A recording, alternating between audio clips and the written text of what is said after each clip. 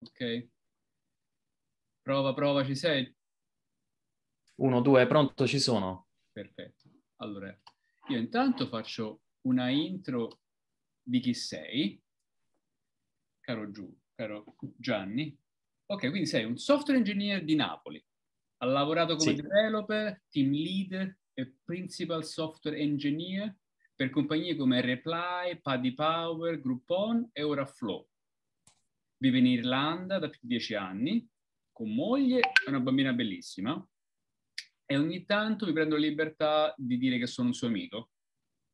Ok? Eh, è un appassionato di cripto e con il suo sito easystaking.org ci spiega un paio di cose riguardo alle cripto, bitcoins, cosa sono, eh, cosa- come possiamo usarle e se un giorno le useremo per prenderci un caffè al bar.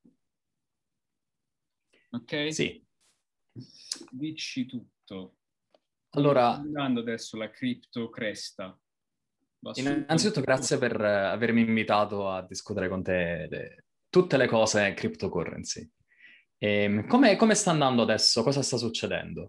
Eh, la verità è che da fine del 2020, ehm, quando secondo me dal punto di vista anche storico il, il Covid ha incominciato un pochettino a dare segnali di eh, speranza che eh, diversi lockdown sparsi per il mondo potessero incominciare a ehm, essere sollevati e anche grazie al, um, all'invenzione, insomma, degli- dei, dei vaccini, il, il capitale che era stato rimosso ne- sia nei eh, mercati tradizionali della, tra- tra- tra- della finanza tradizionale, così come quelli cripto, eh, sono stati di nuovo reinvestiti. Infatti abbiamo visto che tante aziende, tante compagnie hanno cominciato a, a vedere una, una crescita, e cripto in particolare.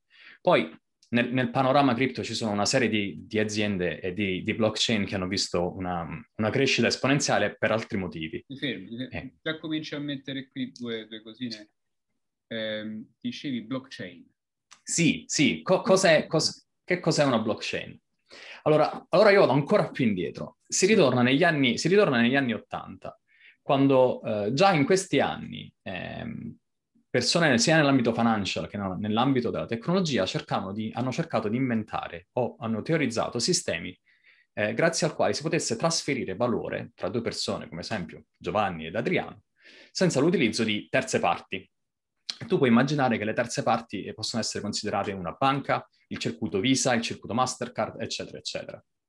Questo significa che eh, quantunque io voglia trasferire del denaro da me a te o te li do in cash, e comunque poi la banca garantisce il fatto che questo cash abbia un certo valore, oppure dobbiamo ricorrere a circuiti Visa, eccetera, eccetera. La blockchain nasce eh, come un progetto eh, teorico secondo cui due enti- entità si possono scambiare una quantità, un valore arbitrario, non ci interessa quanto, però senza ricorrere ad altre terze parti, ma semplicemente utilizzando Perché una- se, se uno strumento utilizzo- tecnologico. anche se io utilizzo PayPal, poi alla fine utilizzo sempre un circuito Esatto, Visa bancario, diciamo, non Esatto. è un, un real peer, peer-to-peer. corretto. Eh, PayPal è semplicemente un proxy, quindi eh, un- una piattaforma che, si, si- si- che utilizza un'altra piattaforma sottostante, che può essere il circuito Swi- Swift, può essere il circuito Visa, altri circuiti che garantiscono il reale trasferimento, poi di- dopo 10 giorni, 30 giorni, 50 giorni, della- del, del vera- del reale valore tra le diverse banche, tra le diverse entità, ma nel frattempo sono loro che garantiscono la transazione. Quindi se io devo dare 10 euro a te, la banca inizia a darti 10 euro e poi ci pensano loro a integrarsi con il resto del servizio e veramente eh, scambiare il sistema. Mentre, come giustamente dicevi tu, blockchain è una tecnologia che eh, garantisce, eh, che utilizza il- la tecnologia peer-to-peer per trasferire una, una somma di denaro, un, un valore tra, tra due entità. Ora, ovviamente la prima blockchain che è stata inventata è Bitcoin, lo sappiamo tutti quanti. E, e la, la blockchain in generale eh, si, eh, si costituisce come un, ehm, in inglese si dice un distributed ledger, anzi dec- decentralized ledger. Il ledger è semplicemente il libro contabile e decentralized significa che è decentralizzato. Decentralizzato significa che questo software non, non- non- non è eseguito eh, su- sul mio portatile o nel, nel, nel, nel, center, nel data center di una banca, ma semplicemente gira nell'etere e tutti quanti possono eh, configurare il proprio computer e essere, parti, eh, essere parte di questa rete. Ok, quindi eh, se tu mandi un euro a, a Marco, ok? Io che sono parte di questo circuito della blockchain, sul mio computer c'è un piccolo registro che dice Giovanni ha dato un euro a Marco. Quindi ce esatto. l'ho io, ce l'hai tu, ce l'ha Marco, ce l'hanno altre migliaia di persone, quindi praticamente quella transazione è registrata dappertutto. Quindi Corretto. se tu cerchi Corretto. di spendere quello stesso euro due volte non puoi perché tutti gli dicono no, no, no, no, no, no, aspetta, tu questi soldi li hai già spesi, quindi non esatto. puoi spendere due volte lo stesso euro. E questo, questo, è probabilmente è nodo, uno dei eh, teoremi fondamentali della blockchain, il fatto che eh, quando un trasferimento avviene i il, ehm, i risultati, eh, i balance, eh, quello che resta all'interno del mio, del tuo wallet, devono essere consistenti, senso che se io ho 10 bitcoin e tu ne hai 3 e io te ne do 2, alla fine io ne ho 8 e tu ne hai 5, ma soprattutto quei due che ho trasferito non li posso spendere due volte. E questa cosa qua viene garantita eh, attraverso quello che viene chiamato in inglese il consensus protocol o protocollo di consenso in italiano. Ce ne sono due principali al mondo e sono uh, Proof of Work e Proof of Stake. Tutti quanti sanno molto bene del fatto che eh, Bitcoin utilizzi un'altissima quantità di energia elettrica per far girare il proprio software, perché al giorno d'oggi eh, sono stati inventati i cosiddetti ASIC miner, che non sono nient'altro che dei dispositivi USB, possiamo immaginarli, che consumano tantissima energia, ma ehm, consentono di generare ehm, eh, Bitcoin più velocemente. Qui potremmo parlare di questa cosa per ore, non voglio andare giù nei dettagli, ma eh, comunque eh, ci sono server farm enormi che non fanno nient'altro che eseguire il codice di Bitcoin an- di nuovo ancora e ancora per cercare di minare quanti più Bitcoin possibili. Comunque, il proof of, cons- proof of work eh, praticamente è un semplicissimo algoritmo che eh, consente di garantire che eh, la blockchain, il ledger, questo ehm, questo ledger non venga cambiato nel tempo e che dopo 10 minuti, quando il nuovo blocco viene aggiunto, tutti quelli precedenti non possono essere modificati. E quindi eh, si dice che eh, dopo 10 minuti ed altri 10 minuti dopo un'ora, in realtà sono 10 i blocchi considerati eh, fondamentali a ciò che le transazioni che sono accadute, 10 blocchi precedenti, sono praticamente inattaccabili. Quando io dico inattaccabili significa che ci deve essere un altro, eh, un altro cluster di Bitcoin che riesce a minare Bitcoin così più velo- molto più velocemente da poter riscrivere la storia e cambiare l'ordine delle transazioni.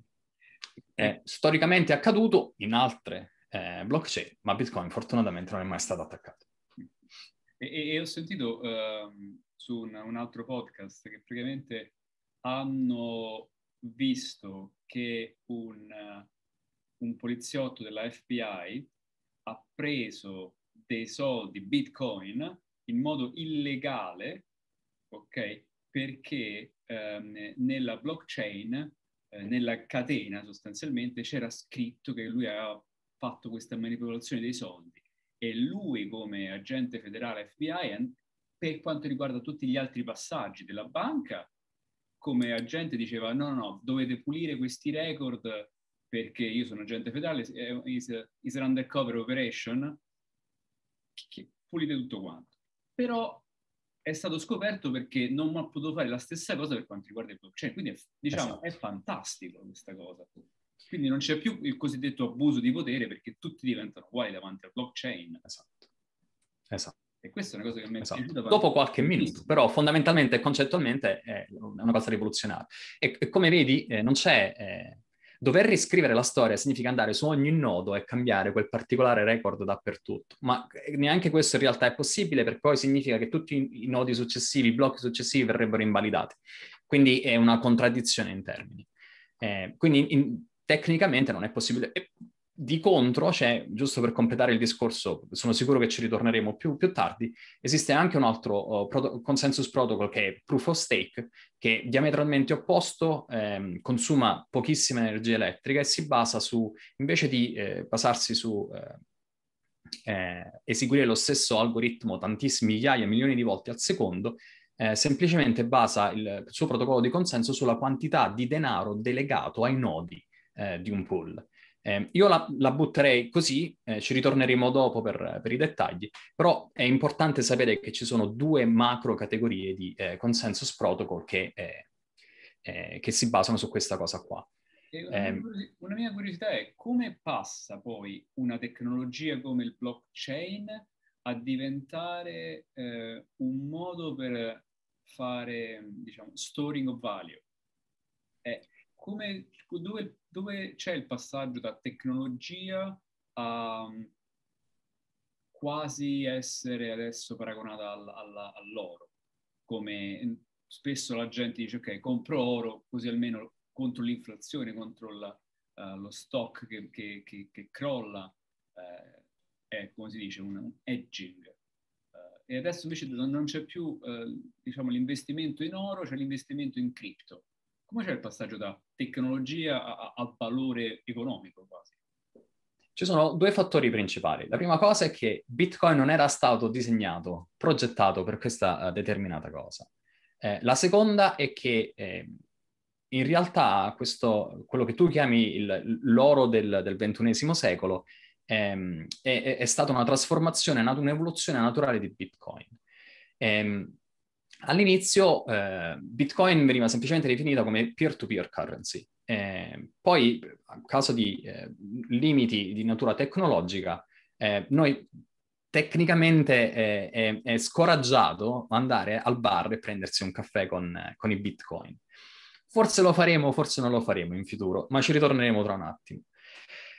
La maniera con cui Bitcoin è diventato il, l'oro del ventunesimo secolo in realtà ha seguito molteplici processi perché eh, Bitcoin credo sia stato, sia nato nel, nel, nel 2011 e solamente dopo 7, 8, 9 anni ha visto il suo valore esplodere.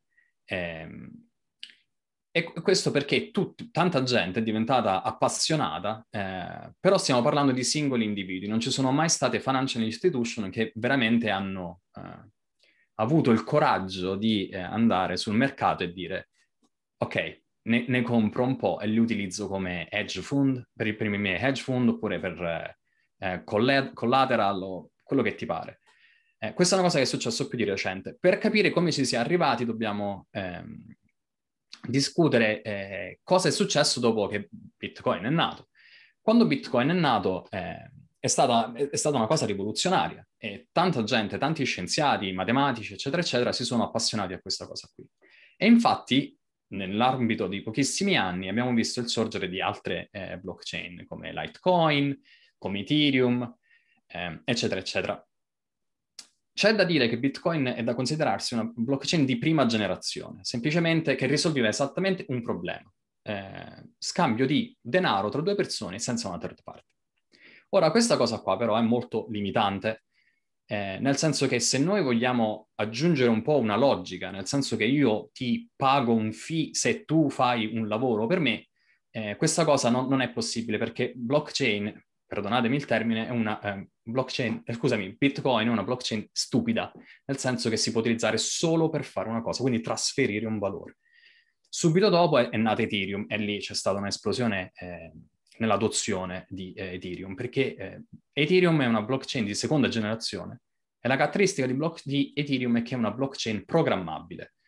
Sono sicuro che tutte eh, le persone nella, della nostra età o anche un po' più giovani si ricordano quando è stato inventato JavaScript, che tu avevi la tua bella paginetta del tuo web browser e cominciava a essere molto più interattiva invece di essere semplicemente una pagina statica di testo. JavaScript è praticamente quella scintilla che è scoccata dentro Ethereum che ha reso la blockchain eh, molto più utilizzabile. Infatti oggi si parla di DeFi, si parla di tantissime altre cose. Questa cosa qua ah, può DeFi. accadere. Chiarisci che cosa è DeFi? Decentralized Finance. Okay. Praticamente è, è, è, qualsiasi cosa che può essere... Eh, eh, no, t- tante volte si usano sì, eh, sì, sì, sì. sigle, cose strane. Concordo. Eh, La più strana che posso... è SUV, quindi. Potremmo parlare di questa cosa qua, anche di questa cosa qua, magari ne parliamo di un'altra volta, però la cosa fondamentale è che eh, Ethereum è una blockchain programmabile, nel senso che il trasferimento di un valore tra me e te, o tra me e te, Marco e tanti altri amici, può essere, ehm, può verificarsi al, eh, può essere effettuato al verificarsi talune condizioni. Per esempio, eh, io ti riparo il PC e tu mi paghi 30 eh, euro, fondamentalmente. Ok.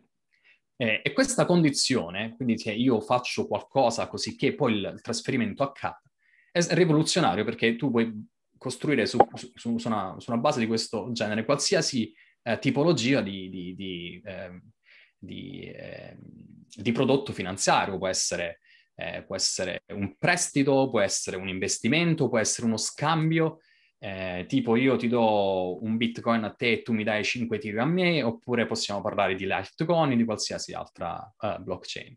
Ovviamente abbiamo anche blo- blockchain di, di, terza generazione, ehm, che sono nate qualche anno fa, ehm, che offrono la, la, la successiva, un, un, altro miglioramento. Nel frattempo però, poiché Ethereum era stato, eh, era, ha visto un'adozione molto grande, eh, e poiché per comprare Ethereum la maggior parte delle volte devi trasferire prima soldi in eh, Bitcoin e poi da lì riconvertirli in Ethereum, Bitcoin è diventato un pochettino all'inizio l- la moneta eh, eh, che ha fatto da tramite, da ponte tra il mondo fiat e il mondo cripto. E, e quindi il valore è incominciato ad aumentare. Ma diciamo, tutte le le monete normali, tipo dollaro, euro. Esatto. Per poter comprare Ethereum, la prima cosa è, in passato, adesso non è più così, ma in passato si doveva sempre passare attraverso Bitcoin. Ora non è più così, ma questo è, stata prima, è stato il primo motivo per cui il valore è incominciato ad aumentare. Ma la verità ultima, secondo, secondo che ha fatto schizzare il valore di Bitcoin, comunque crescere, è che eh, l'offerta di, eh, di, di, di Bitcoin è limitata, nel senso che non ricordo esattamente in quale anno, verrà minato l'ultimo Bitcoin, dopodiché non se ne produrranno più. Ora, se l'offerta, questa è una, una legge eh, basilare della, della, della, della, finanza moderna, dell'economia moderna, è che dice che se l'offerta è costante e la richiesta aumenta, il valore intrinsecamente eh, aumenta con, con, la domanda. E questo è un altro aspetto eh, rivoluzionario che avrei dovuto già menzionare prima, ma che lo faccio adesso, è che eh, i sistemi di cryptocurrency, la maggior parte di loro, le blockchain, sono anti-inflazionari. Significa che ehm, nel tempo la, l'offerta aumenta per poi raggiungere il cosiddetto cap, eh, che è il massimo numero di token o di coin in circolazione, per poi fermarsi a questo valore qui. E quindi se gli adopters, gli utilizzatori di questa piattaforma aumentano, il valore non può nient'altro che, eh, che salire. Ovviamente ci saranno altre basse, si seguiranno cicli finanziari, quello che ti pare, però dal punto di vista teorico quella è la direzione in cui eh, si è andati. Infatti adesso vediamo che eh, 10.000 euro, 10.000 dollari, 20.000, 30.000, adesso siamo in un ranging fra i 45.000 e i 50. Adesso ci sono anche le frazioni di Bitcoin che valgono tantissimo. Prima era una, adesso una bitcoin sono, eh, come dici tu, 45.000 euro. Cioè non è esatto. che puoi andare al bar con 45.000 euro. Eh. sono le frazioni, centesimi di bitcoin adesso quelli ci sono, ci sono, sempre stati ma erano meno famosi perché non valevano niente adesso i, esatto. i, i millesimi di bitcoin vengono chiamati satoshi in, in onore di eh, Satoshi Nakamoto il nome fittizio o forse reale dell'inventore di, eh, esatto. di blockchain eh, non so dirti quanto valgono, ma eh, forse con un paio di Satoshi un caffè ce lo facciamo. un giorno riusciremo a prendere un caffè da Satoshi. Apriamo un bar che lo chiamiamo Satoshi. Dobbiamo aprire un bar Satoshi. Pagate soltanto in Bitcoin. In cryptocurrency, esatto. Perfetto. Un'idea. ok. E abbiamo parlato della prima, diciamo, uh, diciamo la, la, prima ondata di, bit, bitcoins, cryptocurrency, poi c'è stata la seconda. Ma adesso poi recentemente parlavamo della terza. Esatto. Perché esatto. adesso c'è qualcuno che ha lavorato nella seconda ondata e ha detto aspetta un secondo, forse riesco a fare qualcosa di ancora meglio. Esatto. Quindi, Nel... cosa hanno voluto fare quando la terza ondata, la terza evoluzione? Ethereum è stato uh, creato nel 2014 e con Ethereum tante altre blockchain. Ovviamente Ethereum è la più famosa. quando hanno inventato il, eh, il, il, linguaggio di programmazione su Ethereum, si sono veramente molto... È, è, stato un successo, però si sono anche immediatamente resi conto del fatto che eh, Ethereum Continua fondamentalmente... non ti preoccupare, eh? Sì, avesse un, un, problema di natura eh, tecnologica, secondo cui eh, Ethereum può eh, gestire e supportare al massimo 30 transazioni al secondo. Dalla trentunesima transazione al secondo in poi si inizia a creare una una coda, una queue di, requ- di request, di transazioni che si accodano non possono essere gestite. Eh, Vitalik Buterin, Charles Hoskinson e altri founders sono coloro che nel 2014, credo, hanno dato vita a Ethereum e subito sono resi conto di, questa, di questo limite. All'epoca però l'utilizzo di Ethereum era molto molto basso e non costituiva un gran problema.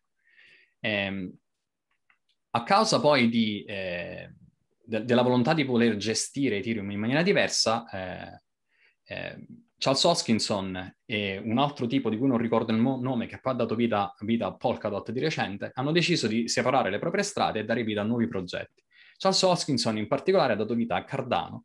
Cardano è, come tante altre blockchain, una blockchain di terza generazione perché si, eh, eh, si è posto come obiettivo il, il, superamento dei limiti delle precedenti due generazioni. Eh, nella fattispecie Bitcoin, eh, che non ha smart contracts o comunque che non è una blockchain intelligente, quote unquote, tra apici, e la seconda è che eh, Ethereum, sebbene fosse una, una, una, una, blockchain programmabile, non permettesse di scalare eh, virtualmente all'infinito o almeno con la domanda. E quindi è così che nascono blockchain come Cardano, per esempio, eh, dove la volontà è quella di eh, fondamentalmente creare una blockchain che resti e duri nel tempo. E quindi eccoci. E perché esistono, per esempio, Bitcoin, eh, poi eh, facevi, dicevi Ethereum, poi ne dicevi un'altra che era Litecoin, poi Polkadot, Cardano.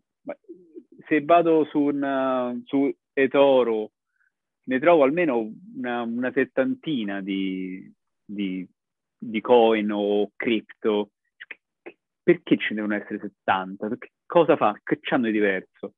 Allora, questa... C'hanno valore, questa... c'hanno valore o soltanto il Bitcoin, quella che, che ha valore, Ethereum adesso sta crescendo, eh, o le altre hanno o non hanno valore o sono soltanto che hanno eh, cose, fuochi di paglia che salgono e poi spariscono? Questa, questa è una domanda eh, importantissima. E, ehm, e e ci sono almeno due o tre aspetti diversi di cui dovremmo discutere. La prima è che ehm, alle origini, stiamo parlando di sei, anche solo, solo sei o sette anni fa, che nel, nel, nella, nell'era uh, cripto sono Giura, 50 anni, proprio. 100 anni, esatto, ehm, il problema fondamentale lì era che eh, quando Ethereum non era ancora nato, qual- quando tu volevi fare qualcosa di diverso da quello che eh, Bitcoin fa, il semplice scambio di denaro, All'epoca quello che si faceva è si creava una nuova blockchain che facesse quello di faceva Bitcoin più un altro po'. Litecoin, per esempio, è una versione di uh, Bitcoin ma uh, utilizza meno uh, risorse hardware. Poi è nata Ethereum che è come Bitcoin, però ha gli smart contract e lì c'è stata un'esplosione. E con essa ce ne sono state tante altre. Però non c'è mai stata una blockchain che, risu- che, che, riusci- che riuscisse a risolvere tutti i problemi che c'erano sul mercato. E questo poi è il motivo per cui le, le blo- una blockchain di terza generazione è nata. Ma a parte tutti gli aspetti di natura tecnologica, ci sono anche aspetti di natura finanziaria estremamente importanti. Di questa cosa qua, Charles Hoskinson ne parla eh, tantissimo nel suo video introduttivo di Cardano.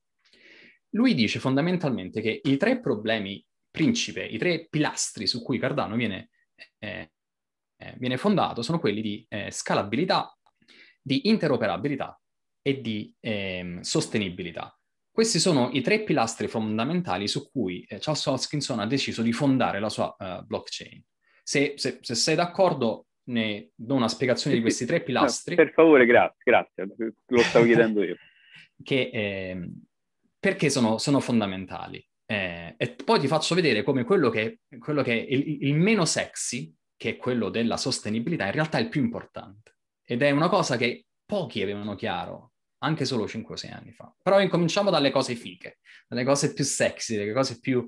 Eh, quelle che si sanno anche di più. Allora, la prima cosa è la, eh, la scalabilità. Scalabilità nel, in, in, in, ingegneria informatica, comunque nell'ambito tecnologico, è la facoltà di un prodotto eh, elettronico eh, o digitale di eh, riuscire a ehm, garantire un servizio eh, indipendentemente dalla, dal numero di persone o di utenti che lo stanno utilizzando. Tu puoi pensare a ehm, non lo so, ah, la cosa più semplice è Facebook che centinaia migliaia, eh, qualche anno fa non riusciva a gestire centinaia di migliaia di persone intanto cascava.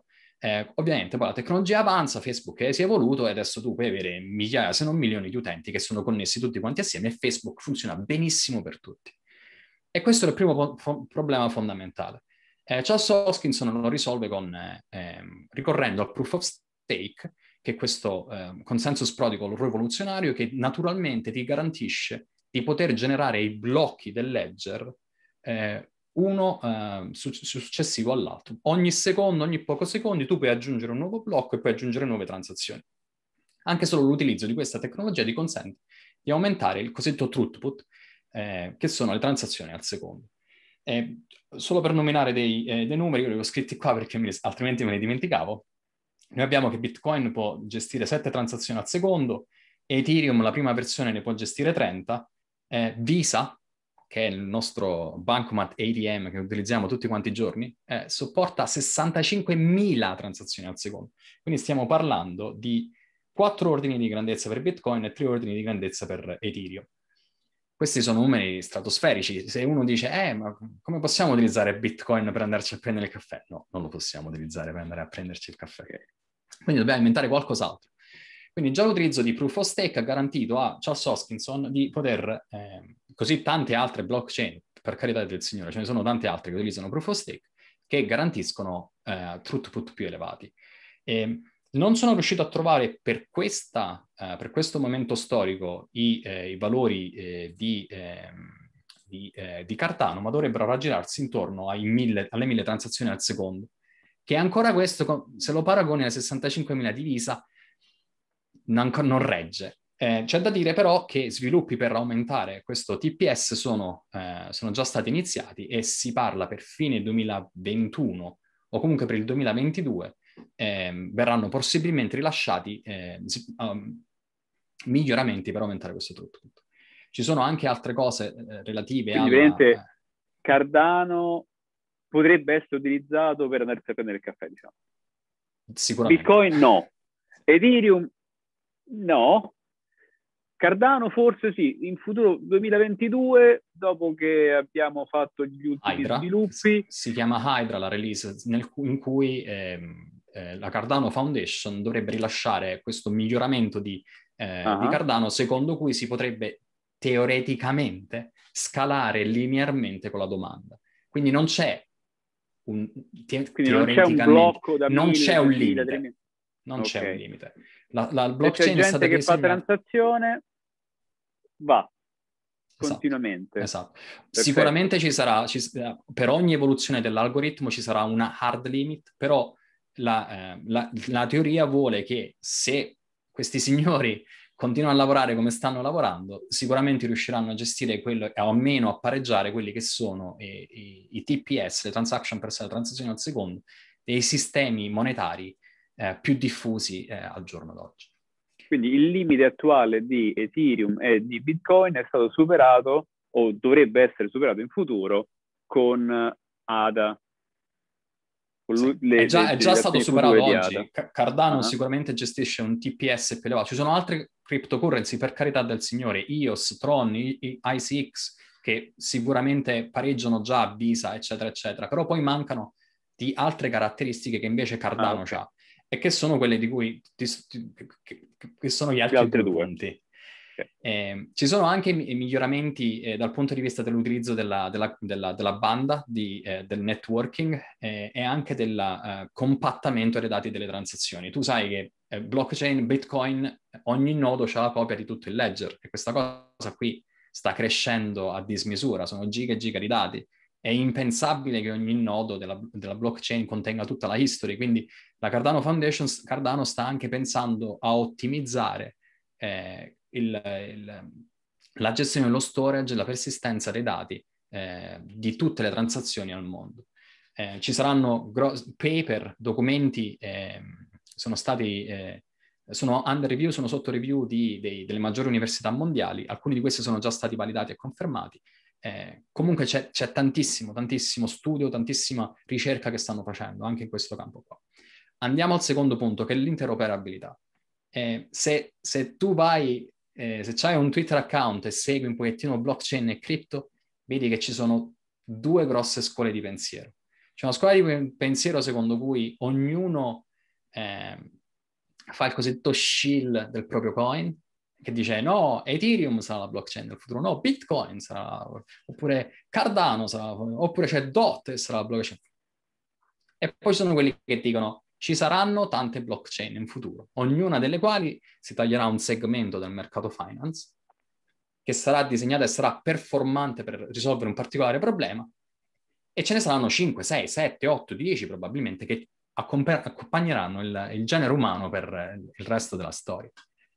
Ma se ci sono tante blockchain significa che non è che la gestione dei dati o la gestione delle transazioni dei pagamenti tu le replichi su tutte le blockchain e poi la cambi un po' di qua, la cambi un po' di là. Le blockchain dovranno parlare fra di loro. È impossibile avere 10 blockchain al mondo e non c'è interoperabilità. Cardano è stata disegnata dal giorno in cui è stata fondata come una blockchain che può parlare con Bitcoin, che può parlare con Ethereum, che può parlare con eh, Litecoin. Pochi mesi fa fu, uh, fu annunciata questa cosa qua. E quindi Cardano sa quando qualcosa accade su un'altra blockchain, blockchain e può agire automaticamente. Proprio in questi giorni qua, anzi tra pochi minuti, ci sarà il rilascio della... Uh, inizierà la, me, la Mary era. Eh, in Cardano eh, ogni volta che si attraversa uno sviluppo particolare viene creata, viene definita una nuova era. La, la, la Mary era praticamente gestisce, consente di prendere eh, un token dalla rete Ethereum, bruciarlo su Ethereum e crearlo come per magia nella ehm, blockchain Cardano. Una piccola digressione. Ehm, non so se eh, DeFi la finanza decentralizzata si eh, utilizza i cosiddetti native token, o meglio, i non-functional token di Ethereum. Eh, questi non sono nient'altro, chiedo scusa, non sono nient'altro che piccoli smart contracts che sono stati scritti in maniera particolare e contengono delle informazioni nel loro interno. Sulla rete Ethereum non, non, vengono scambiati solo i token Ethereum, ma vengono scambiati anche questi smart contracts che dentro hanno un piccolo codice che fa delle cose. E con questo codice tu puoi creare altre, eh, puoi creare altre coin, altri token. Ora, questi token eh, hanno una propria vita eh, e possono essere gestiti indipendentemente. Il problema è che quando la gente si scambia su Ethereum questi token, cioè il, Ethereum è così intasata dal punto di vista del traffico che una richiesta che viene fatta adesso viene eh, gestita fra 20 minuti, un'ora, due ore, se eh, paghi il fee minimo, perché tu vorresti pagare il minimo. Tante persone però che vogliono la propria transazione eh, gestita immediatamente incominciano a pagare 10, 20, 30, 40, 50 dollari, 60 dollari, 70, che è impensabile. Magari tu compri un token da 150-200 dollari e paghi 60 dollari di transazione. È una follia. Ora che succede? Che Cardano, che era stata disegnata con questa cosa in mente, eh, ti dà la possibilità di prendere questo token da, eh, dalla, dalla, blockchain Ethereum, spostarlo sul Cardano e averlo trasferito per 10 centesimi, 15 centesimi di dollaro, neanche di Cardano, di dollaro. Quindi diciamo è come se Cardano avesse un cambio valuta già integrato dentro su Cardano, se tu compri, se tu c'hai il token ADA o c'hai qualsiasi altro token, queste due cose vengono gestite nella stessa identica maniera. Quindi creare una nuova coin, un nuovo coin, il Giovanni token, l'Adriano token su Cardano, ti costa facciamo. quasi, cioè facciamo, facciamo il coffee token, il token che puoi utilizzare per andarti a prendere il caffè, costa 70 centesimi prezzo fisso, prezzo e li vendiamo sulla blockchain. Ma cazzo, non ho un'idea. E quindi vengono gestiti nella stessa maniera. Quindi se il mio uh, stake pool operator, il mio piccolo serverino che compone Cardano, quando gli arriva uno scambio di ADA o gli arriva uno scambio di coffee token, fa esattamente la stessa cosa. Sono In inglese si dice first class citizen, proprio cittadino di prima, eh, prima classe. Ah, proprio... E questa cosa qua è fondamentale. È, con elevato numero di transazioni, token che vengono gestiti esattamente nella stessa maniera, è anche più facile per l'utente, per me e per te, creare un nuovo token. È semplicissimo, mentre con, con, con, Ethereum è molto più complicato perché devi scrivere un contratto che gestisce un token. Un po' complicato. E questa cosa dell'interoperabilità è di un'importanza fenomenale, perché questo esempio che ti ho fatto adesso del, eh, del, del convertitore di ERC token, ERC20 token, di ERC20 token, 20 token, è, è, è importantissimo e fenomenale. Ma ci sono tante altre cose come transaction metadata, possiamo stare a parlare qui eh, ore e ore. Però tantissimi eh, miglioramenti sono stati fatti per, eh, per fare dell'interoperabilità tra blockchain, una cosa che 5-6 anni fa nessuno ci pensava, un, un, un, pilastro fondamentale di una blockchain moderna, per questo blockchain terza generazione. E se non hai domande, cerco l'interoperabilità, poi andiamo a parlare della cosa meno sexy, ma probabilmente più importante. No, vai, vai, domande? Vai. Andiamo avanti. Ci, ci sono, ma... ma sono esterne a questo discorso, okay. quindi ti lascio continuare. Allora, l'ultima cosa, e qui vorrei veramente catturare l'attenzione delle persone, è quella della sostenibilità di una blockchain.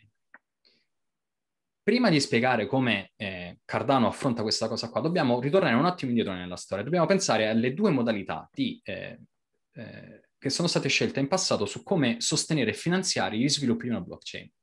Allora, il primo è quello di tipo patronale, tipo Patreon, come abbiamo su, molto diffuso adesso su internet, dove la gente, dove una persona vuole essere sponsorizzata da altre persone e, eh, e quindi viene finanziata in questo modo qua.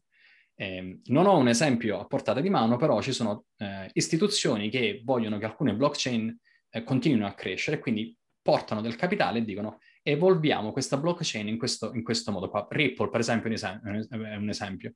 Eh, la, la Ripple Foundation ha raccolto soldi per cambiare XRP in una certa maniera. Ovviamente lo sviluppo eh, in questo modo qua è solamente uno sviluppo da parte degli investitori, nel senso che gli investitori cambiano la blockchain in una maniera a loro consona che fa bene a loro, però non, non vanno a chiedere agli utilizzatori di Ripple eh, come vogliono che la blockchain evolva.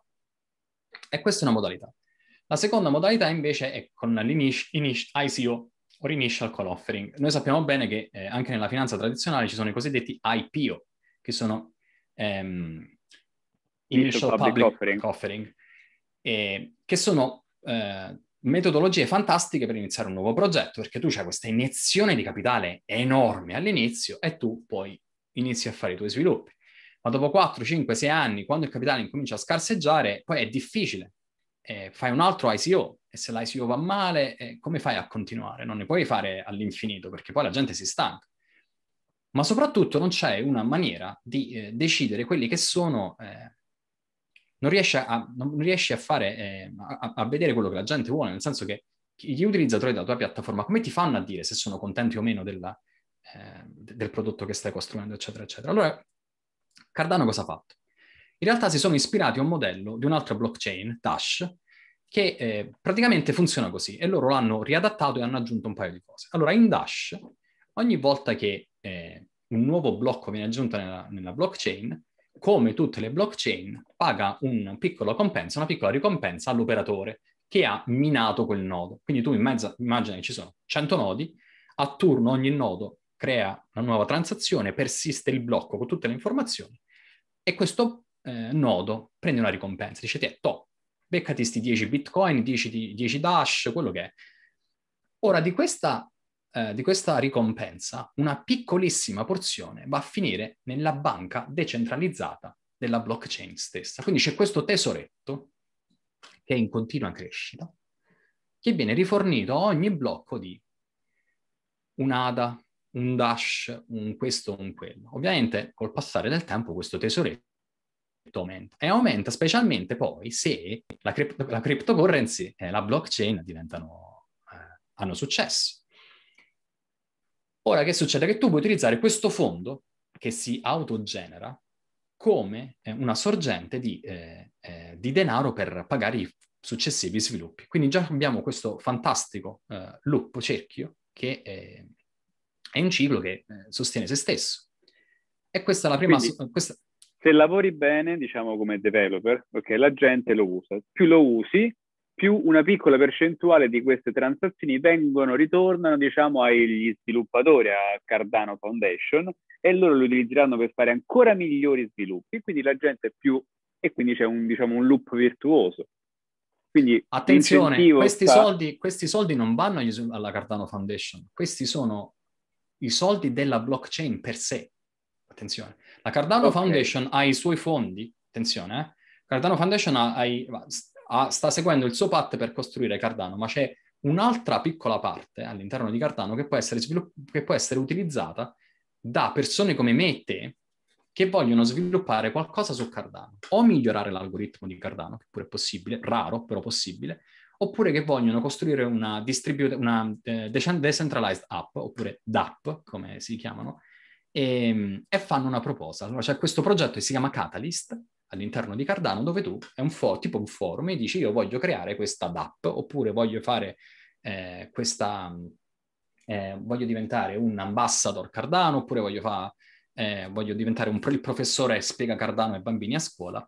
E, e, tu fai questa proposta, ce ne sono centinaia, ce ne sono migliaia. Poi cosa succede? Che gli utenti Cardano che si sono registrati hanno il cosiddetto diritto al voto, perché io ho il mio wallet con un certo quantitativo di ADA e mi registro per votare. Quindi io sono un cittadino del, eh, dell'ecosistema Cardano e eh, esiste il fondo 1, il fondo 2, i due primi due fondi sono stati già chiusi, il terzo si, si voterà adesso, il, fondo 4, il quarto fondo eh, è stato iniziato proprio adesso, è, è stato lanciato proprio adesso e le votazioni saranno fatte penso a fine marzo, mi pare, comunque una roba del genere. Ok, quindi, quindi... nella transazione si crea piccolo, un piccolo fondo di beneficenza. Sì. E poi... Diciamo. E tu ah, fai, dici, io volevo fare con questi soldi, volevo fare questo progetto, che è un sì. progetto, diciamo, deve, essere, deve avere uno scopo uh, positivo per sì. il discorso... Soltanto... Inerente, Dimmi. inerente al, al a blockchain, esatto. progetto. Ok, perfetto. Eh, c'è tanta gente, per esempio, che eh, eh, sta facendo ehm, training, sta facendo education, educational channels ehm, come YouTube channel, Twitter, tutte queste piattaforme qua, TikTok, you name it. Eh, e lo fanno in lingua, ovviamente, perché ehm, l'ecosistema parla inglese, ma poi eh, c'è una fortissima comunità medio orientale eh, thailandesi, indiani, cioè incredibile, non ci credevo ho visto questa cosa qua. La comunità ispanica è enorme, Argentina, Venezuela, con tutti i problemi di inflazione che hanno, eh, Spagna, eccetera, eccetera, è enorme. Un po' più piccola c'è anche quella italiana, infatti io sono qui anche per, per questo motivo qua, per cercare di crescere questa comunità su Cardano. E quindi che succede? Che tu fai la tua proposta e poi chi ha un wallet Cardano può votare. Le proposte che vengono votate di più ehm, eh, ricevono una piccola frazione del, eh, del, fondo totale che era stato ehm, eh, allocato per il particolare eh, iterazione del fondo, fondo 1, fondo 2, fondo 3, fondo 4. E questa cosa qua è la cosa che consentirà a Cardano di nascere, crescere, ma soprattutto continuare a autosostenersi in futuro. Ora, se la Cardano Foundation fa eh, altri investimenti, accordi con altri investitori per prendere altri soldi per fare, eh, per fare della blockchain ancora più potente, è un altro paio di maniche, ma chi vuole cooperare, chi vuole sostenere la blockchain ha anche accesso a questo tesoro della sì, banca decentralizzata di blockchain. E questa è una cosa fondamentale perché tanti progetti in passato si sono fermati. Quando eh, volevano in, in, implementare eh, segmentation witness su, su, eh, su, su, Bitcoin, che è semplicemente un algoritmo per ottimizzare eh, le transazioni e fare di Bitcoin una cosa un po' più veloce, eh, metà comunità ha detto non lo voglio, altra metà della comunità ha detto facciamo. E quindi c'è stato Bitcoin e Bitcoin Cash. Poi Ethereum hanno sbagliato a fare una cosa su uno smart contract e hanno bruciato centinaia di migliaia di dollari e ovviamente Vitali, hanno bussato alla porta di Vitalik Buterin e hanno detto guarda che il tuo team mi ha appena bruciato centinaia di migliaia di dollari, che vogliamo fare? Ha fatto non ti preoccupare. Hanno fatto il rollback delle transazioni per riprendere questi fondi e hanno dovuto forcare. E quindi adesso ci sta Ethereum Classic e, il, e l'Ethereum come lo conosciamo noi, che tra poco diventerà Ethereum 2.0. Quindi come vedi, eh, avere un disegno di questo tipo qua eh, che autosostiene la, la blockchain è fondamentale perché ti dà una, eh, una possibilità di eh, decidere com- quali sono poi le cose che verranno fatte dopo e soprattutto avere una sorgente di eh, introiti. Tu eh, avevi passato sopra un, un, punto che è importante secondo me. Tu parlavi del, del, diciamo, delle comunità Cardano, una di quelle sono quelle ispaniche, ok? E dicevi da, dell'inflazione in Argentina, da quello che so io anche il Venezuela, ma come mai Cardano viene utilizzata contro l'inflazione in paesi come il Venezuela, l'Argentina o luoghi dove la, la, la moneta è, è, è, molto più soggetta a volatilità, diciamo così. P- perché? Qual è la connessione tra Cardano e, e inflazione? Perché Cardano è, con, con, è, diciamo, il nuovo oro contro l'inflazione? Ecco in, in, la maggior parte, com, così come, come, come Bitcoin, eh, anche Cardano è, è, un sistema anti-inflazionario, nel senso che eh, ci sarà un limite massimo di Cardano che verranno, di ADA dovrei dire, verranno rilasciati sulla blockchain. Mm-hmm. E quindi anche in quel caso poi, per la, dom- per, per la legge di domanda e dell'offerta che abbiamo discusso prima, il valore intrinseco di Cardano nel tempo è destinato ad aumentare. Ovviamente... Eh, eh, ci sono tanti altri fattori che determinano l'attuale valore di, Cardano, di ADA, però eh, in linea di massima, in linea teorica, eh, basandosi sulla finanza tradizionale, domande e offerta dovrebbero regolare il prezzo. Eh, abbiamo, questa cosa l'abbiamo vista anche in passato, in particolare eh, tanti anni fa in Argentina, un, un, ex, un ex collega mia mi diceva che eh, i, i, le persone che lavorano in NFT in Argentina si facevano pagare o in bitcoin o in dollari, addirittura American dollars, e quindi loro cercavano di evitare il pesos argentino o in questo caso eh, la moneta venezuelana. E quindi eh, preso, il, ehm, preso, lo stipendio, la prima cosa che facevano è compravano bitcoin o adesso comprano ADA nel Venezuela. Ma la okay, cosa quindi, più importante... Quindi la connessione è il fatto che il, la loro moneta si sta deprezzando perché chiaramente la politica economica dello Stato corrotta, diciamo così, non corrotta politicamente, ma corrotta a livello economico, diciamo. Mm. Quindi preferiscono cambiare il, la loro moneta fiat, abbiamo detto peso uh, argentino, con questa moneta Bitcoin, che non essendo legato al loro, alla loro moneta, al loro punto di dove sono locati a livello internazionale, mm-hmm. ok? Questo qui non ha più, un, è, è, è, il principio della centra, del, decentralizzazione, cioè se io sono in Argentina, ma chi possiede Cardano, eccetera, eccetera, chi stabilisce il valore di Cardano è disperso su tutto il mondo, l'economia dell'Argentina non influisce su quanto valore ha la moneta.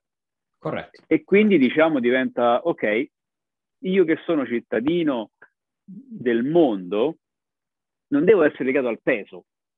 Esatto. Io sono legato a qualcosa che è globale e digitale perché io con un aereo adesso mi sposto dall'Argentina alla, alla, all'Europa con, con, con, 5, 6, 8 ore, quindi che, che, che, senso ha avere una moneta legata a uno Stato? Esatto.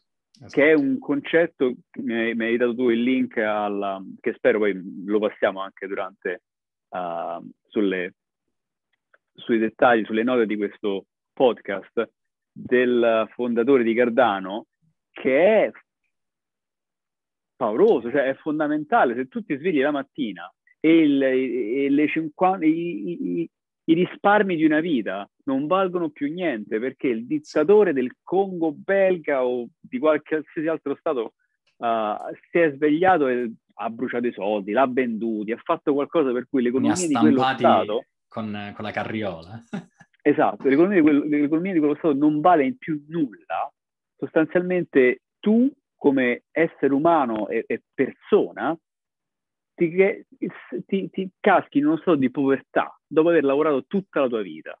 E il concetto che la tua vita è legata a qualcuno, una sola persona, che potrebbe essere presidente o dittatore, o come lo vuoi chiamare tu, è pauroso.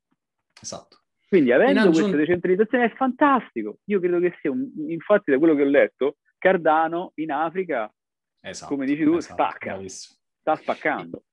Adesso eh, c'è, c'è, della speculazione eh, sul fatto che sembra che la Cardano Foundation abbia iniziato addirittura 4-5 anni fa a ehm, eh, un discorso eh, di cooperazione con uno Stato eh, africano o con molteplici Stati africani per cercare di far sì che Cardano venga utilizzata come eh, piattaforma. Adesso non sappiamo se è come piattaforma economica oppure come piattaforma ehm, eh, per individuare le persone, insomma, per di, eh, come sistema diciamo di... un gestionale interno esatto. dello Stato. Eh, però sembra che tanto processo, progresso sia stato fatto e adesso manca quel 5% che in realtà si sta... Hoskinson in una delle interviste dice abbiamo raggiunto il 95% in maniera super veloce, adesso c'è questo 5% che continua ad andare avanti e indietro, avanti e indietro, perché ovviamente qua non stiamo parlando di un'azienda di 50 persone, qua stiamo parlando di una città, si pare, pare o addirittura di uno Stato africano. E, e questa cosa qua praticamente darebbe la possibilità alle eh, persone che vivono in questa città, Stato che, che volete, di ehm, avere un'alternativa al sistema economico locale tradizionale. Tante, tante banche eh, africane non consentono, per esempio, il trasferimento o lo scambio della moneta locale in, eh, in, qualsiasi altra moneta del mondo, ma si deve sempre passare attraverso lo US dollar. Quindi pensate il doppio delle commissioni, il doppio delle transazioni, insomma, una cosa molto, molto eh, eh, complicata economicamente e dispendiosa, anche eh, non conveniente fondamentalmente. Avere la possibilità di poter scambiare, se per esempio c'è un artista digitale o un marketing o un marketer o una persona che vive in Africa che vuole lavorare o vendere un bene digitale a qualcuno negli Stati Uniti, loro possono farlo invece che trasferire la moneta locale, andare in banca, eccetera, eccetera, loro possono fare tranquillamente con ADA, con Cardano. E, e si, si, uno degli esempi che era stato fatto nel, che aveva spiegato Hoskinson in una delle sue interviste è che una cosa che lui ha saputo e che capita spessissimo della gente che va in pensione in Africa che prendono la, la pensione che dopo un mese non ha più valore perché eh, con, con, la pensione che prendevano un giorno ci volevano andare al ristorante, il giorno dopo ci veniva a comprare caramelle fondamentalmente e dopo un mese non ci facevi più niente. Quindi avere un sistema che sia anti-inflazionario, eh, inflazionatorio come si dice in italiano, comunque è, è, è, dà la possibilità a queste persone di guadagnarsi da vivere, ma soprattutto poi cont- contribuire al sistema economico mondiale, perché più pedine, più circolazione di denaro fai, generi, più l'econom- l'economia cresce e si autosostiene. Eh, abbiamo visto anche con, non voglio entrare in, in territori eh, muddy waters, in, in, territori molto pericolosi, pericolosi Brexit no, come pericolosissimi che eh, da che doveva essere una cosa per migliorare l'economia interna eh, al British, adesso si sta combinando un, un casino enorme. Ci sono ripercussioni dalle, che non erano state previste, diciamo. Eh, già, sì, vabbè, non erano state previste. Vabbè. Senti, prima eh, dicevi una, una parola. Tornando alle blockchain. una parola hai detto e quella lì, diciamo, mi è rimasta nella testa, facendo un passo nero, hai parlato di speculazione, non credo che um, diciamo, uh, il termine era contro uh, le blockchain, penso che sia più stato più un, il progetto di speculazione dietro. Um, la mia domanda è, dietro a questa crescita adesso esponenziale durante gli ultimi mesi di, in generale di tutte le blockchain, bitcoin, eccetera, eccetera, ci potrebbe essere una speculazione, qualcuno dietro che sta muovendo delle pedine e cerca in qualche modo di manipolare e chiaramente avere del tornaconto. Dirti di no è una bugia, dirti di sì è una bugia. Eh, però è altresì vero che... Eh... Grazie per la risposta molto chiara. la, verità, la, verità, è che nel momento in cui ehm, big players o cosiddette whales le, ehm, eh, entrano, Wait, entrano in quelli in che hanno un sacco di, di quelli che hanno un sacco di, di liquidità o di, quelli che hanno un sacco di liquidità cercano di cavalcare l'onda per generare margini e non solo ma anche eh, cercare di eh, eh, come si dice influenzare il prezzo per poi poter eh, eh, vendere al momento opportuno e generare un profitto. Che sia ben chiaro, questa cosa accade sia nei mercati tradizionali e accade anche nei, nei mercati, nella finanza tradizionale e nella finanza cripto. Abbiamo visto di recente eh, cosa è successo con le azioni di GameStop. Ehm, e, e, c'è tanta gente su Twitter diceva ai financial investor eh, eh, il giovedì, martedì nero di GameStop eh, era il, la, la, la, giornata tipo nel mondo eh, cripto. Infatti io su questa cosa qua ho riso, perché tutti i giorni eh, in cripto succede, c'è la nuova GameStop. Quindi ovviamente eh, ci sarà sempre qualcuno che cercherà di trarne vantaggio in maniera sporca. Eh, ma, e, e, questo ehm, è accaduto sempre e continuerà ad accadere, con l'unica differenza che per esempio in cripto anche nel caso di shorting, tu non puoi fare shorting di, eh, di, una, eh, di un valore, di una, di una, proprietà che o non hai o non esiste. Perché poi c'è il naked shorting, eh, che è un'altra cosa eh, che dovrebbe in teoria essere illegale, che è vendere, ehm, fare shorting di azioni che in realtà non esistono, e questo sembra che sia quello che è accaduto con GameStop, quando si parla di cripto e tu fai per esempio uno shorting su una delle piattaforme come Binance, come Crypto.com, eccetera, eccetera, tu puoi fare shorting solo di, del valore che a, a realmente esiste su, quel, su quell'exchange, altrimenti i conti non tornano. Eh, non puoi eh, inventarti bitcoin che non esistono, i bitcoin o esistono o non esistono e, e quindi non si possono fare queste manovre che sono al limite, al limite della legalità. Quindi anche eh, operazioni più o meno sporche in teoria dovrebbero essere meno probabili. Investitori che cercano di guidare il prezzo? Purtroppo ce ne sono in quelli tradizionali e ce ne sono anche in cripto. Quindi diciamo, uh, questo parallelo tra diciamo, le, le, le stock, mondo tradizionale, finanziario, regolamentato, e il cripto che attualmente non è regolamentato, sostanzialmente c'è il bello e il brutto in entrambi i casi.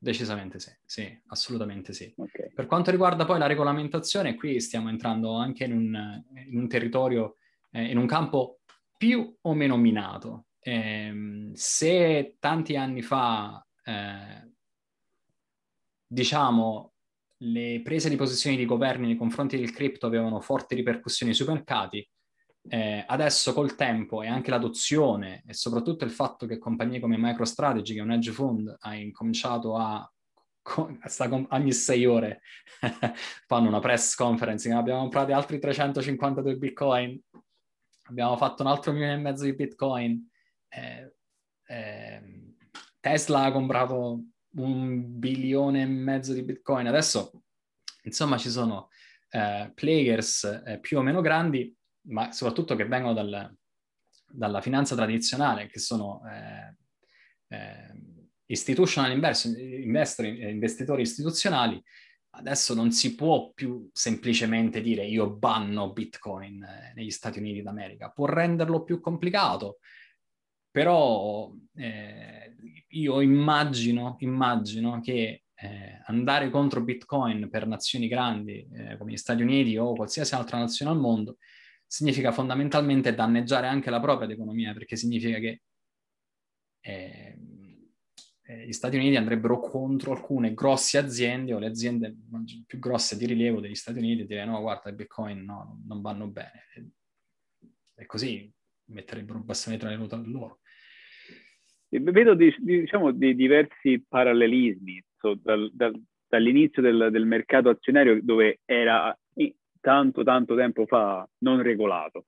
Poi hanno visto che c'era comunque un giro, tra virgolette, economico che poteva essere vantaggioso per lo Stato, essere regolamentato in una certa maniera vantaggioso per, per l'economia e per la popolazione. Quindi la regolamentazione ha, ha, ha sviluppato l'economia quando è regolata, perché chiaramente ehm, fondi istituzionali si sentono al sicuro perché dici ok, è regolamentata, possiamo entrare, ok? Certo. Dopodiché, poi un pochino più recentemente, la regolamentarizzazione della cannabis, almeno in America, in Italia non so cosa sta succedendo, che ha portato a investimenti. Certo. Quindi certo. se c'è domanda, spesso è inutile remare contro, perché quello che succede è che vai a, a, a bruciare eh, valore, perché comunque, non so, i governi combattevano il, i narcos che importavano la cannabis, quindi la, era più la spesa. Adesso che invece è stata regolamentata, al contrario, eh, i vari governi hanno, prendono tasse dalla creazione di valore di, che comunque esiste. Quindi la regolamentazione, sono andato in dark, night, night, night, night, mode. Okay? Ah, ecco, quasi quasi mi piace, così è molto più intimo.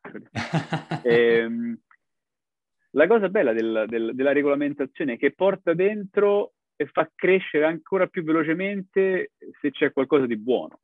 Perché esatto. cosa succede? Se c'è qualcosa di buono, il governo o la regolamentazione guarda dentro e dice ok, perfetto, queste sono le regole.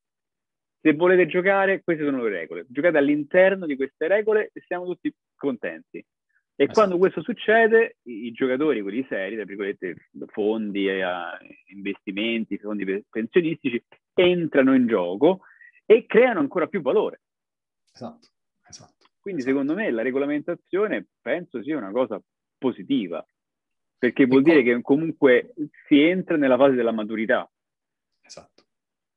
Non solo, ma eh, ne, negli ambiti, il, il, la, le cryptocurrency, le, le, le piattaforme cripto, eh, adesso stanno anche attraversando un periodo storico nel quale eh, società informatiche stanno costruendo anche freelance, un sacco di gente, stanno utilizzando queste piattaforme cripto per eh, dar vita a business. Eh, un, eh, non è novità su, nelle news del cripto di recente che ci sono tante persone che stanno vendendo i cosiddetti digital arts attraverso eh, i non functional token, gli NFT. E, ci sono giocatori di basket che stanno vendendo opere d'arte o beni tramite NFT a prezzi esorbitanti. E questo è ho un visto, caso. Ma... Ho visto gente che fa la collezione di gattini elettronici con NFT. Sì, questo girava su Ethereum, ma non, però non riesco a ricordarmi. CryptoKitten, una roba del genere. hanno, inta- bravo. Hanno intasato, hanno intasato, Ethereum per non Genio. so quanti giorni per, per questa cosa qua. E, ma stanno creando posti di lavoro, quindi eh, questo volevo dire, che stanno creando posti di lavoro, opportunità di lavoro, gente che si sta reinventando utilizzando il cripto e pro- probabilmente stanno, stanno eh, sopravvivendo anche grazie, grazie a questo. Aspetta, faccio un riassunto di che cos'è CryptoKitten. Sono praticamente dei gattini elettronici e, e, sono, diciamo, non puoi copiarli perché c'è questa chiave crittografata attraverso l'NFT, quindi non functional token, appoggiata da quello che ho capito su Ethereum, che sostanzialmente è un gattino con la targa. Esatto, univoco, non, non lo puoi clonare. Univoco, che per la gente, diciamo, nata intorno al 1980 come me, suona un po' assurdo, però è anche vero che c'era gente che si comprava i Tamagotchi, uh, i, i tamagotchi e, e, anche la, la Farmland, la, il trattore all'interno di del Farmville su Facebook con soldi veri per far mandare il trattore nella, uh, nella piantagione digitale. Quindi esiste di tutto e va rispettato tutto quanto. Perfetto. Giusto, giusto, giusto perché far, far, capire la um, crypto kit che cosa sono e il valore uh, all'umanità. Negativamente questo... non esiste. non so che aggiungere. È fantastico. Io rimarrei più che... sulla parte politica, esatto. eh, geopolitica, mi, mi, piace quella dove la, la, gente che si sveglia ha ancora i soldi per, per, campare il giorno dopo e andare a comprare il latte, eh, come pensionato che, che, si è fatto un, un tantino di, di, lavoro durante la sua no, vita, anche, anche, in Africa, insomma, si devono fare un, un, bel po' di lavoro e poi si svegliano la mattina quando hanno 75 anni, il giorno dopo essere in pensione, non gli vale più niente. Almeno si potrebbe anche un po' essere arrabbiato, diciamo. Certo. Quindi, Ma è giusto, è giusto. Per questo io vedo, diciamo, queste, queste decentralized token o coin come qualcosa che può salvare tante parti de, de, de, del mondo dove ancora ci sono questi giochetti dove c'è una persona al potere e può fare il bello e il cattivo tempo di milioni di persone, che fondamentalmente Esatto. eh, non, non, vado, non digerisco. Fantastico. E non voglio prenderti più, più tempo di quello che ho già, già ti ho preso. Eh, io sarei contento di fare un uh, episodio 2, poi questo qua può essere pure che lo dividiamo in, in, due spezzoni, visto che stiamo parlando da un'ora e mezza quasi. Uh, tempo vola. Time flies when you're having fun. È diventato anche buio, pre- non vedere. Hanno levato la luce, non Hanno so che è successo. Sì, sì. Fantastico. Eh, Gianni, ti ringrazio, ok? Alla prossima. A te, Adriano, è stato un piacere. Un saluto a te e a tutti gli ascoltatori. Ciao. Buonanotte.